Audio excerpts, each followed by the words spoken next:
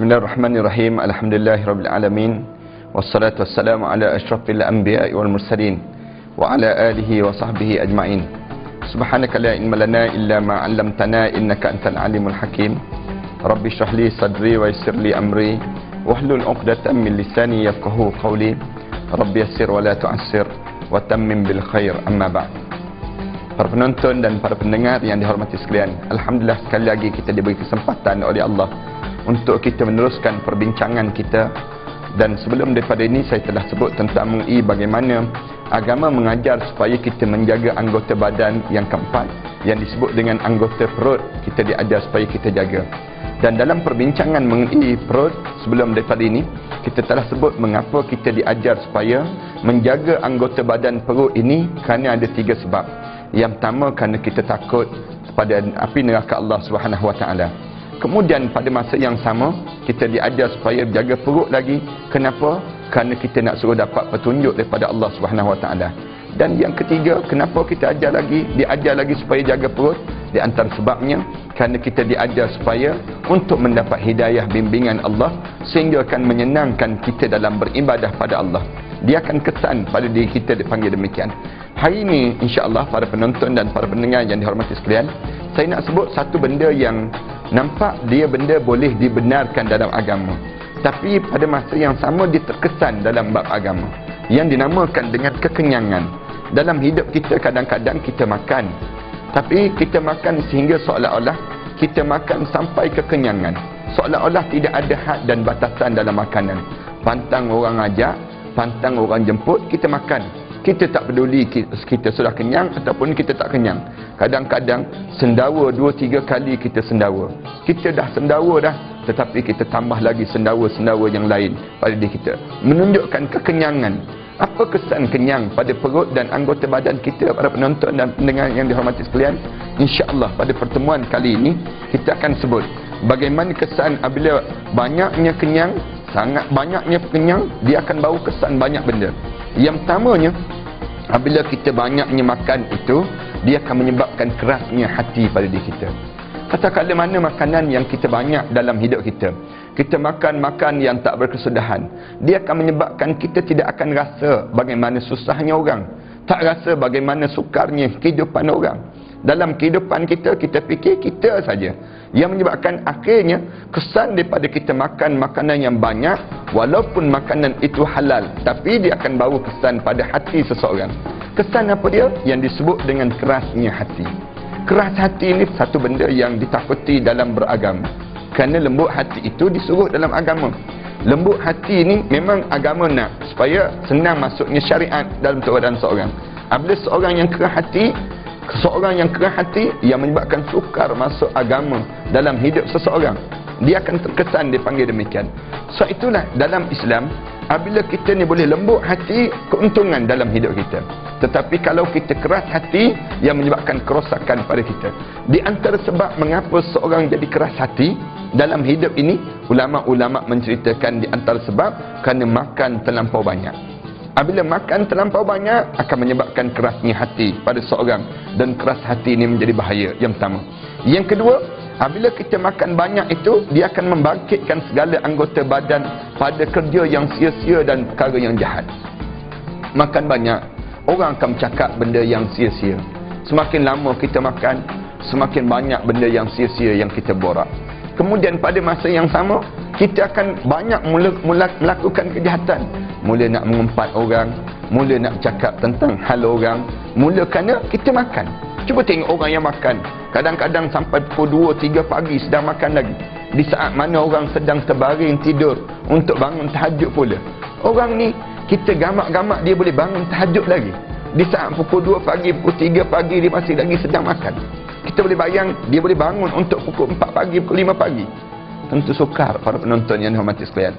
Sukar untuk kita nak bangun di saat mana kita kekenyangan. Dia akan terjadi demikian. Sebab punca kita makan banyak apabila makan banyak sehingga kekenyangan pada diri kita dia akan terjadi demikian. Kalau dia boleh bangun tahajud satu rahmat dalam hidup dia. Apatah lagi yang menjadi bahaya pada dia? Dia makan banyak sebelum daripada dia tidur misal contohnya. Dia tak akan bangun untuk tahajud malam pula. Dia akan terkesan pada dia. Kemudian yang ketiga orang yang makan banyak ini akan membinasakan kecerdikan dan juga kepintaran disebabkan sedikit kepahaman dan juga pengetahuan pada diri dia. Orang yang makan banyak tak cerdik dalam hidup.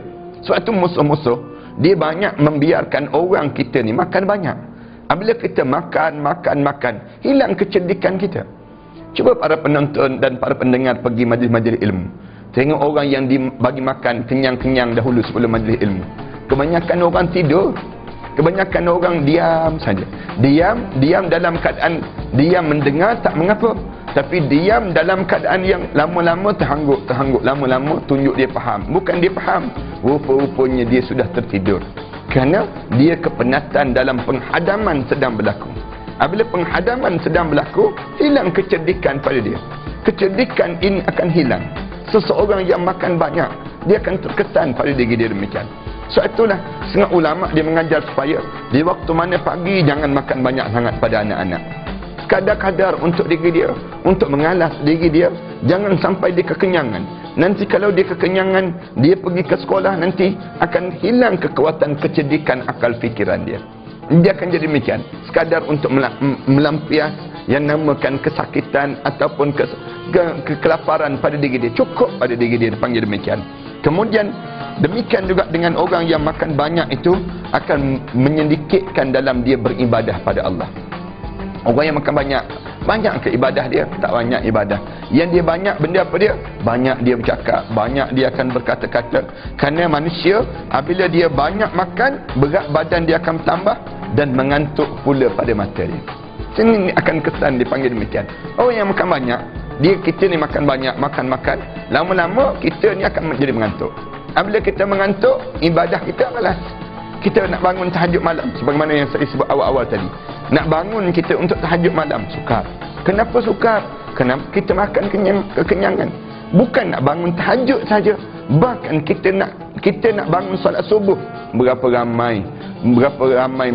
Berapa banyak masjid-masjid yang masih lagi kosong pada hari ini. Kerana apa dia? Kerana semalam orang tidur dengan penuh kekenyangan tidur penuh kekenyangan inilah yang menyebabkan subuh menjadi kosong di pada waktu mana menjelang subuh di dini hari ini sendiri jarang orang datang. Kenapa? Kerana banyaknya makan. Dan yang kelimanya kenapa? Bahawa makan banyak itu akan menyebabkan hilangnya nikmat dalam beribadah pada Allah Subhanahu Wa Taala. Orang yang makan banyak tak rasa nikmat lagi beribadah.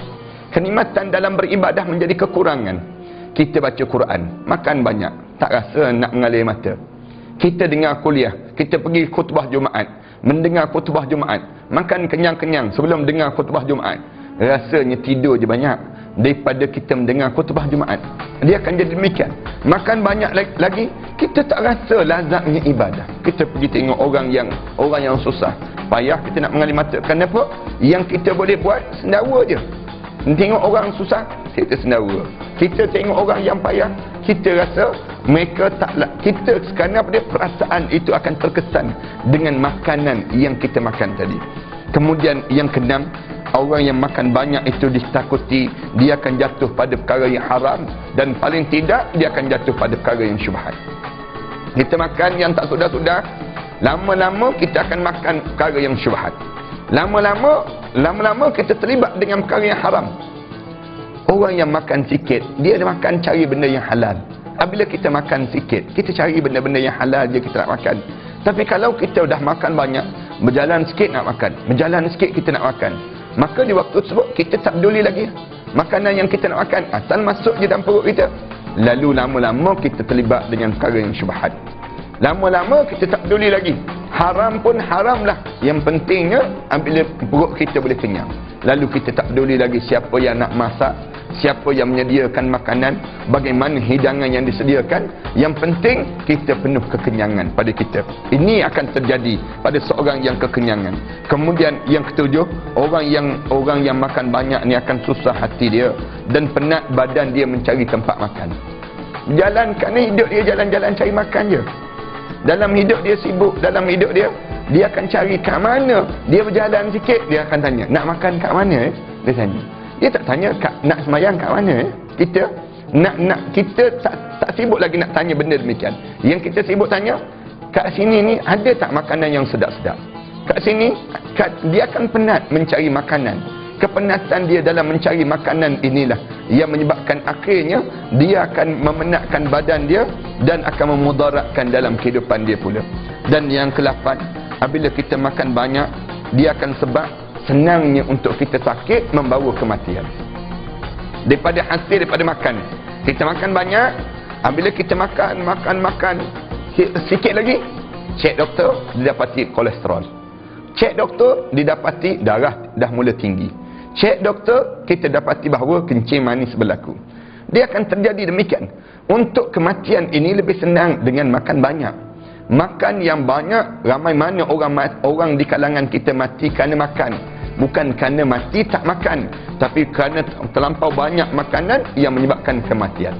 Kita baca dalam sahabat bagaimana kanak-kanak yang kecil, yang masih lagi muda, masih lagi dalam keadaan sedang membesar, pada usia tujuh tahun sudah dapati kencing manis padanya kita dapati bagaimana seorang kanak-kanak yang pada usia 8 tahun sudah mengalami kolesterol yang tinggi pada diri dia kenapa, kenapa tu buat? Dan dia kita boleh tengok kanak-kanak yang didapati obesiti yang terlampau pada tubuh badan dia kenapa? Faktor daripada pemakanan. Daripada makan yang menyebabkan akan datang penyakit. Daripada makan yang datangkan penyakit-penyakit yang terusan dalam hidupnya. Yang di waktu ini akan hilanglah nikmat dunia yang Allah sediakan pada kita lalu kita tertinggal nikmat yang Allah kurniakan pada kita ini sendiri. Kemudian yang seterusnya apabila orang makan banyak kuranglah pahala pada diri dia mengurangkan pahala akhirat dalam hidup kita kenapa apabila kita makan kita tak peduli orang tak sibuk lagi tentang orang. Yang penting aku je boleh kenyang. Orang lain, orang lain tak payah peduli bagaimana hidup dia. Sedangkan sepatutnya apabila kita makan banyak, kita makan, kita berkongsi dengan orang. Berkongsi pada orang tu, berkongsi dengan orang. Baca dalam hadis Rasulullah sallallahu alaihi wasallam. Rasulullah sallallahu alaihi wasallam Rasulullah kata makanan yang baik dimakan oleh banyak yang tangan. Banyak tangan bersama dengannya. Rasulullah kalau kita baca dalam sejarah, Rasulullah tak pernah makan seorang-seorang dalam hidup Rasulullah Rasulullah akan makan bersama dengan kawan-kawan dan juga sahabat-sahabat dan juga keluarga kenapa?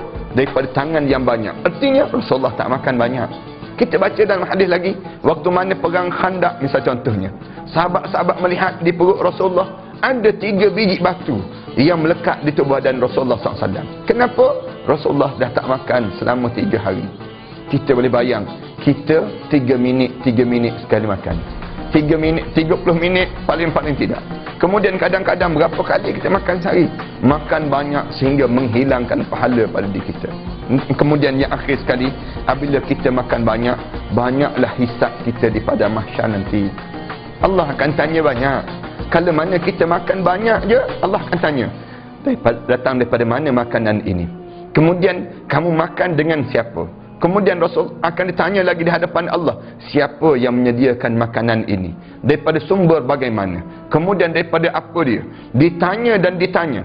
Nukishal hisab faqad unzib. Dalam hadis Rasulullah sebut, siapa yang banyaknya makan, maka confirm dia akan dihumban ke dalam neraka Allah SWT. Siapa yang banyak dihisap di hadapan Allah, dia akan dihumban ke dalam neraka Allah Taala.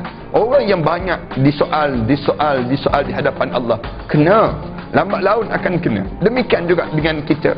Apabila kita ditanya banyak di hadapan Allah lama-lama kita akan terkena juga dengan soalan-soalan yang banyak di hadapan Allah SWT para pendengar dan para penonton yang dihormati sekalian kalau boleh kita simpulkan dengan hadis Rasulullah sallallahu alaihi wasallam. Rasulullah pernah mencela satu di kalangan sahabat-sahabat yang makan banyak. Rasulullah pernah sebut begini al mukmin ya'kulu fi ma'yin wahid. Orang mukmin ini dia makan untuk satu bekas saja. Orang mukmin kata Rasulullah, dia makan untuk satu je bekas, untuk satu bekas. Wal kafir yaqulu fi sab'ati am'a. Manakala orang kafir pula, dia makan untuk tujuh bekas, tujuh perut pada diri dia. Orang mukmin dia makan untuk satu perut. Orang kafir dia makan untuk tujuh perut.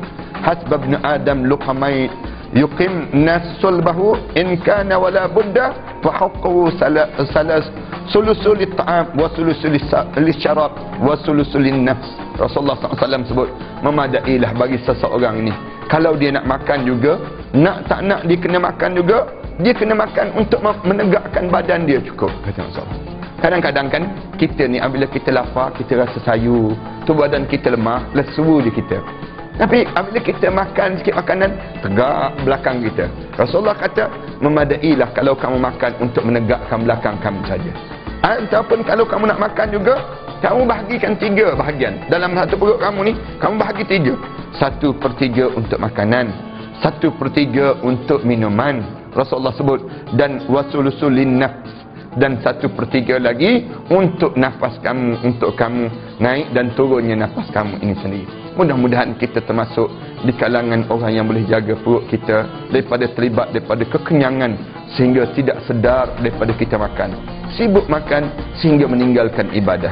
Banyaknya makan sehingga kan banyaknya hilai tawa. Apabila banyaknya hilai tawa kita, keraslah hati kita dan menyebabkan akhirnya kita jauh daripada rahmat Allah Subhanahu taala. Mudah-mudahan kita dimasukkan di kalangan mereka yang sentiasa menjaga anggota badan ini dan kita dimasukkan di kalangan hamba Allah yang saleh. Aku lu qouli hadza wa astaghfirullah li. Wassalamualaikum warahmatullahi taala wabarakatuh.